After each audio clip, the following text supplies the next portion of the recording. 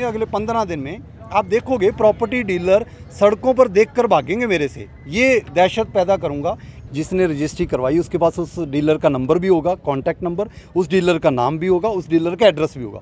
मेरे को दे दे मेरी जिम्मेवारी है। अगले पंद्रह बीस दिन में उनके अगेंस्ट कार्रवाई ना हुई तो मैं आर एस बाट डी टी पी नहीं हूँ। आप तो कह रहे हैं भाई बार बार मैंने कोई वो नहीं चिपकाने आऊँगा। किसी पीएन के हाथ मेरे को नोटिस तो भिजवाते सर जी।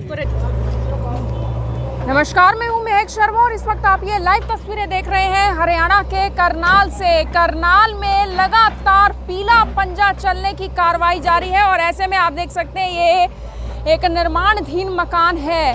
अंडर कंस्ट्रक्शन मकान है, जिसे अंदर से नीचे से उठाड़ा जा रहा है और इस तरफ़ आप देख सकते हैं, ये बड़े बड़े आपको बीम दिखाई दे रहे होंगे, जिन्हें ध्वस्त किया जा रहा है। ईंटें तोड़ी जा रही हैं, देखिए, ईंटें तोड़ी जा रही हैं और पूरा मकान की दीवारें यहाँ पर नीचे गिराई जा रही है। मेरी आप सभी लोगों से यही अपील की जो भी लोग इस खबर को, इस वीडियो को देख रहे हैं, इसे साथ के साथ ज़रूर शेयर करें। दो दो जेसीबीज आपको यहाँ पर देखने को मिल रही होंगी। इस तरफ़ से भी पीला पंजा चल रहा है और इस तरफ़ से भी पीला पंजा चलने की तैयारी है। देखिए, इस तरफ़ से भी पीला पंजा चल रहा है और ऐसे में ऐसे में पूरे मकान को ध्वस्त कर दिया जाएगा। इस तरफ़ आप देख सकते हैं लोगों की भीड़, लोगों की भीड़ और पुलिस की टीम मौके पर पुलिस की टीम मौके पर और इस तरफ़ आप देख सकते हैं लोगों की भीड़ आपको देखने को मिल रही है। उस तरफ़ काफ़ी ज़्यादा लोग इकट्ठा हो चुके हैं।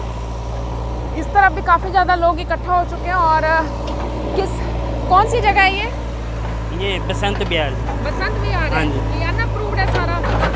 पता नहीं जी हमारे तो जिस लिए रजिस्ट्री है जी उसकी। ये आपकी जगह है? हाँ जी आपका था मकान हाँ? हाँ जी हाँ जी। हम्म, है आपका? हुक्मचंद हम्म। कब कब रजिस्ट्री हो चुकी है आपकी? रजिस्ट्री जिससे मैंने लिया उसकी है जी। उसकी है? हाँ जी। आपने कितने में लिया? क्या कब लिया था ये? अभी लिया है दो महीने पहले जी। कितने में? पंद्रह लाख का जी। पंद्रह लाख का। घर बना रहे हो अभी यहाँ पर? हाँ जी। आज को ये तोड़ा जा रहा है कोई नोटिस वगैरह दिया था आपको? नहीं कोई नोटिस नहीं दिया कोई नोटिस वगैरह- कोई नोटिस वगैरह नहीं दिया इन्होंने कहा है कि जिनसे मैंने मकान लिया है, उन्होंने रजिस्ट्री करवाई है और ऐसे में ऐसे में पंद्रह लाख में हाल ही में इन्होंने ये जगह ली थी और यहाँ पर मकान बनाया जा रहा था और बिना किसी नोटिस के, बिना किसी नोटिस के इनका ये मकान तोड़ा जा रहा है, मकान तोड़ा जा रहा है जो कि इनका कहना है और आप देख सकते हैं अपने आँखों के आँखों के सामने अपने मकान की नींवें टूटती हुई आपको इनको यहाँ पर नज़र आ रही है। काफ़ी नुकसान हो रहा है आपको तो हाँ जी।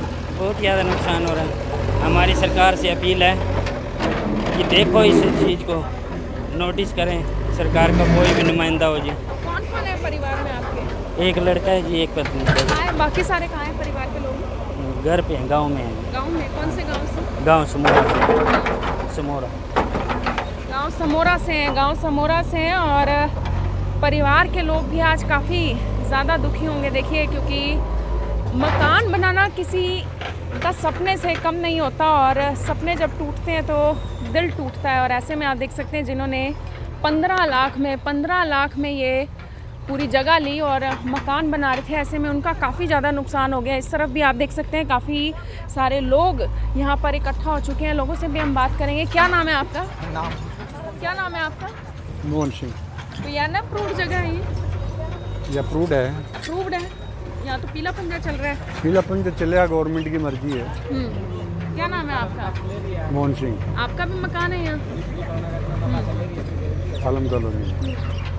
क्या कह रहे हैं आप? पहले तो टैक्स ले रही है रजिस्ट्री करने का फिर बाद में इनको घेर भी रहे इतना पैसे ले लेके। रजिस्ट्री बिना तो होते नहीं मैम ये रजिस्ट्री होती है पहले नहीं की बिना उसके चलते नहीं काम आगे। बसंत विहार तो 16 नंबर नहीं मैम ये बसंत ना? विहार से लगा थोड़ा।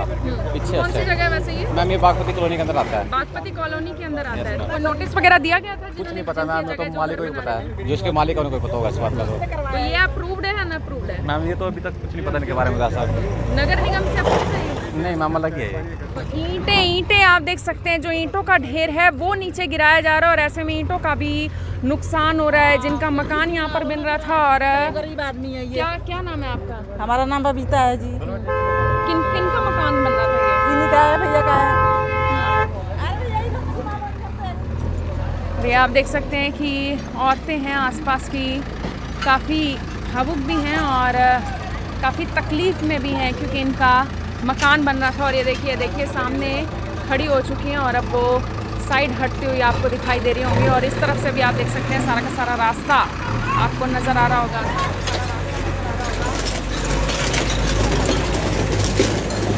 क्या नाम है है जी हमारा घर ये है। आपका घर ये और ये किनका मकान बन रहा था इधर? अंकल का है वो सामने उनसे रिपोर्ट ले लो। वो जो सामने खड़े हैं उन्हीं से उन्हीं का। उन्होंने लिया था ये? हाँ उन्हीं के प्लाट है बेचारा लंगड़े। आप आई से हैं अप्रूव्ड है ये जगह या अनअप्रूव्ड है कैसे है? ये तो मेरे को पता नहीं जी हम नवा नवा आए हैं यहाँ पे। उनका तो काफ़ी नुकसान हो गया इस वक्त। उनका तो बहुत नुकसान हो गया एक जोड़ के बेचारा बनावन लग रहे थे। अप्रूव्ड है ये जगह या नहीं है अप्रूव नहीं है। तो इनको नोटिस वगैरह आया था जिनका मकान बन रहा था? नहीं इसके बारे में कोई पता नहीं। ये तो अभी लिए थे थोड़े दिन हो तो गया काफ़ी नुकसान हो गया यहाँ पे। हाँ दो चार महीना होया ये प्लाट लिए हैं। कोई नोटिस वगैरह मिला था उन्हें? ये तो मेरे को नहीं पता है ये नहीं कोई पता नोटिस वगैरह मिला था नहीं मिला था इस बारे में?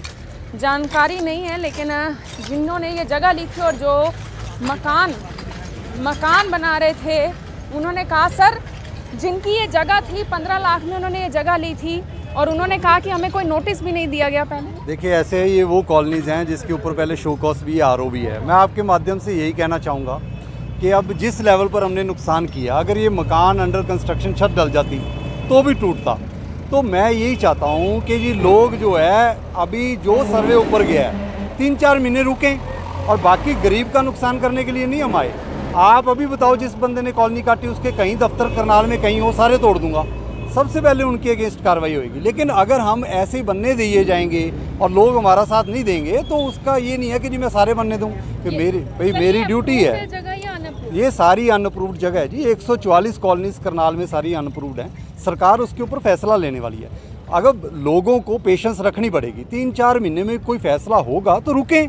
अब आप रुको भी ना और आप कहो कार्रवाई भी ना हो तो मैं अपनी सीट पर बैठा हूँ मैंने अपनी कार्रवाई के लिए तो लगा रखा है। अंकल पीछे ही खड़े हैं इनका ये कहना है कि किसी ने मेरे नोटिस नहीं दिया गया और जब भी कोई कॉलोनी काटता है उसको एक सेवन सेक्शन सेवन वन का और सेवन टू का नोटिस होता है। Any construction which is made is covered under section seven two seven two का नोटिस है। अगर मैं यही मानता रहूँ कि हर कोई जगह एक अंडर कंस्ट्रक्शन डीपीसी बनाएँ और मैं अपने हर रोज नोटिस ला के चिपकाऊँ तो फिर तो होगी कार्रवाई, फिर तो सारा करनाल आप ऐसे ही इलीगल डेवलप कर दो। अगर हमने करनाल को अच्छा डिस्ट्रिक्ट बनाना है, लोग सुझाव दें कि जी गरीब बंदे की हम मदद कैसे कर सकते हैं, करेंगे। लेकिन लोगों को कंस्ट्रक्शन रोकनी पड़ेगी, हमारा साथ देना पड़ेगा। और अंडर कंस्ट्रक्शन तोड़ेंगे। मैंने आपको पहले भी कहा है कि कोई बंदा रह रहा है, उसको निकाल के बिल्कुल नहीं तोड़ूँगा। लेकिन अंडर कंस्ट्रक्शन टूटेंगे, लोग हमारे साथ दें तो बेटर है, नहीं दें तो देखो जी तोड़ फोड़ होएगी।